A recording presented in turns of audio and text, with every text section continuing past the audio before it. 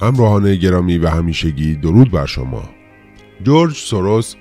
یک سرمایهدار و فعال اجتماعی مجارستانی آمریکایی است که بیشتر سعی کرده است که به خاطر فعالیت‌هایش در زمینه حقوق بشر و دموکراسی شناخته شود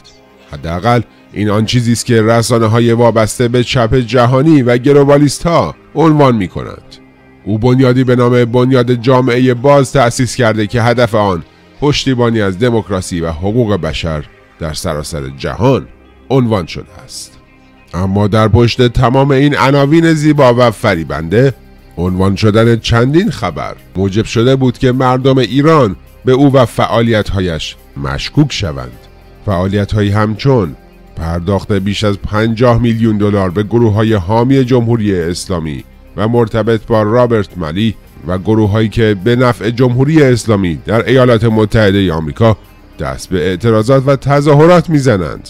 همچنین بیشتر در خبری عنوان شده بود که ائتلاف مخفی جورج سوروس و شرکا برای احیای معامله اتمی با جمهوری اسلامی در پوشش حمایت از مردم ایران شکل گرفته است و نایاک و دیدبان حقوق بشر پشت صحنه این همکاری هستند و حالا باز هم خبر رسیده است که جورج سوروس میلیون ها دلار خرج تظاهرات ضد اسرائیلی چپ ها در ایالات متحده آمریکا کرده است.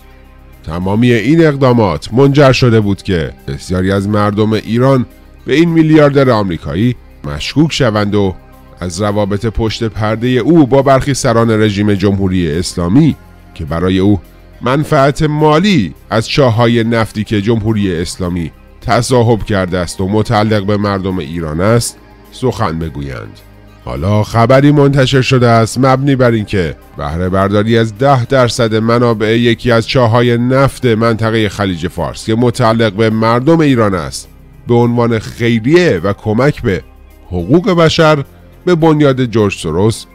واگذار شده است. اتفاق مشکوکی که با توجه به مقدار هنگفت و غیر قابل توصیف منابع مالی که از این چاه نفت به دست می آید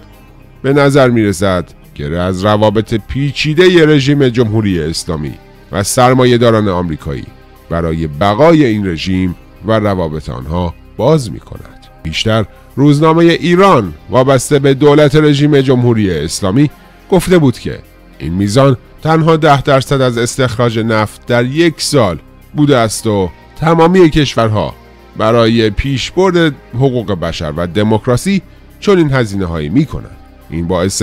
آبروی ما در سازمان های بین المللی خواهد شد گفتن است که بنیاد جورج سوروس تا کنون در شرایط حساسی به ویژه در زمانهایی که اعتراضات علیه رژیم جمهوری اسلامی اوج گرفته است به نحوی از گروه های حامی این رژیم حمایت کرده است و ورق بازی را به نوعی به نفع جمهوری اسلامی برگردانده است حالا هم در شرایطی که گفته می شود عملیات ارتش اسرائیل برای فتح رفح در جنوب غزه به عنوان آخرین سنگر شهری تروریست های حماس به زودی آغاز می شود روزنامه نیویورک پست در گزارشی نوشته است که جورج سوروس و هم فکران چپگرای افراطی او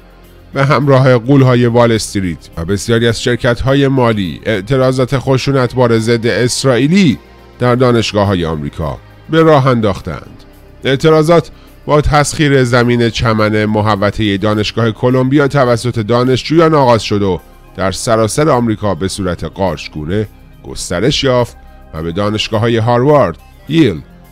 برکلی در کالیفرنیا، دانشگاه ایالتی اوهایو، جورجیا و چند دانشگاه دیگر سرایت کرد. سرنخ این اعتراضات در دست شاخه های مختلف گروه دانشجویان برای عدالت در فلسطین است که با بودجه سوروس سازماندهی شدند. آنها در چند مورد با پلیس هم درگیر شدند.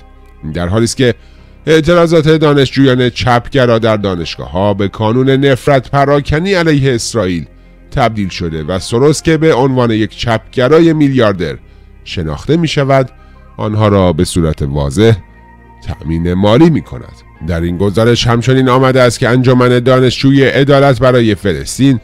در ازای 8 ساعت در هفته برای سازماندهی کمپین هایی که توسط سازمان های فلسطینی رهبری می شوند تا 7800 دلار برای همکاران خود و بین 2880 تا 3660 دلار برای همراهان مستقر در دانشگاه پرداخت می کند. این گروه تندرو از سال 2017 حداقل 300 هزار دلار از بنیاد جامعه باز سروس و همچنین از سال 2019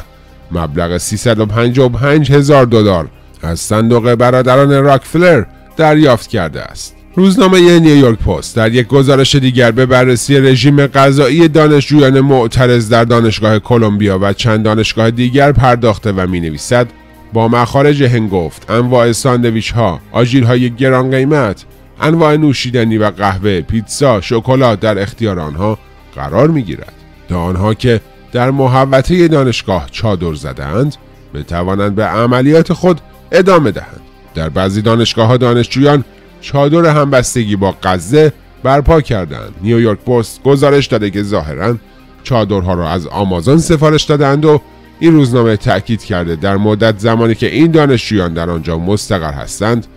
انواع پیتزا قهوه و ساندویچ های رایگان به ارزش دوازده و نیم دلار چیپس های تورتیلای ارگانیک تحویل می‌گیرند و از خوردن جوجه سوخاری و کبابی هم لذت می‌برند